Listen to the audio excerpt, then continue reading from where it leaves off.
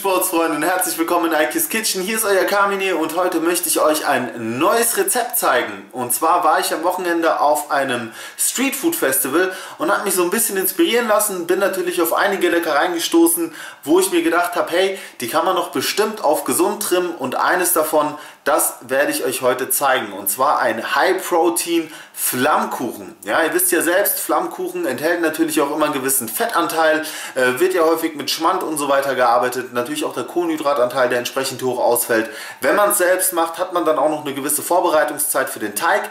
All das bleibt uns erspart in meiner Version und ich zeige euch, was wir brauchen. So Sportsfreunde, wie ihr das gewohnt seid, ganz einfache Zutaten und zwar brauchen wir ein Tortilla Wrap, hier mit ein paar Leinsamen, dann ein bisschen Rucola, das ist aber nur die Deko. Wir brauchen natürlich rote Zwiebeln und zwar eine halbe, die werde ich würfeln. Dann habe ich hier Schinkenwürfel, Fett reduziert, 30% weniger Fett. Die haben gerade mal, lasst mich mal gucken, 2 Gramm Fett, das ist gar nichts. Dann werden wir statt Schmand und Creme Légère werden wir hier so einen Körnigen Frischkäse nehmen und zwar die Hälfte davon. Das Ganze mit Philadelphia hier verrühren. Werden wir mit hier Pfeffer, ein bisschen Knoblauchpulver und mit Salz abschmecken und dann entsprechend belegen. Ich habe jetzt schon mal den Ofen vorgeheizt auf 180 Grad und los geht's.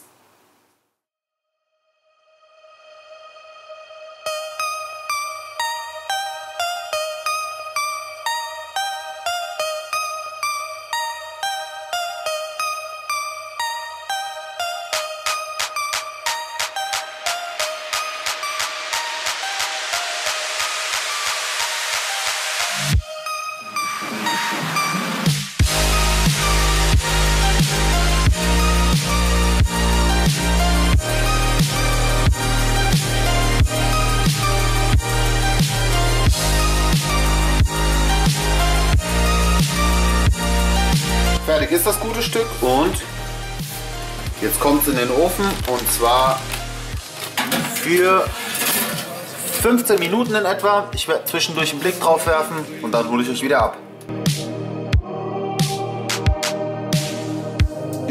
So sieht das Teil aus.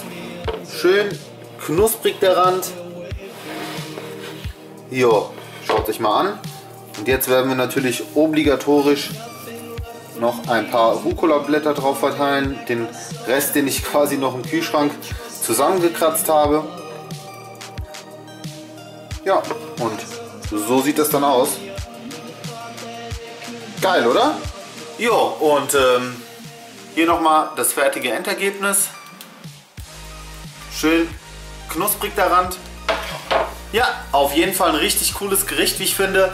5 Minuten Vorheizzeit, die kann man nutzen, um soweit alles vorzubereiten. Ich hatte es jetzt 12 Minuten im Ofen, also man kann wirklich in 20 Minuten einen fertigen Flammkuchen auf dem Teller haben.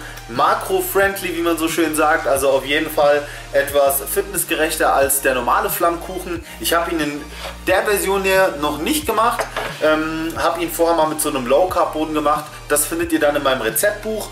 Ähm, was übrigens heute in den Druck geht, wenn ihr dieses Video seht, das müsste der Mittwoch sein. Ja, auf jeden Fall äh, blende ich euch natürlich die Makros wieder hier unten mit ein.